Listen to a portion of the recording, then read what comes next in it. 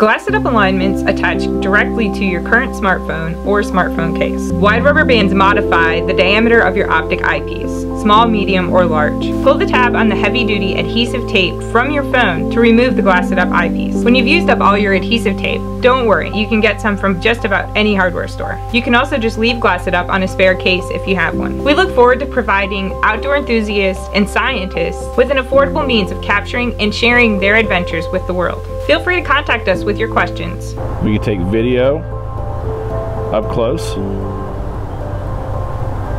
So this even goes out for the guys that don't really like self-filming, that really don't want to sit there with camera arms and cameras.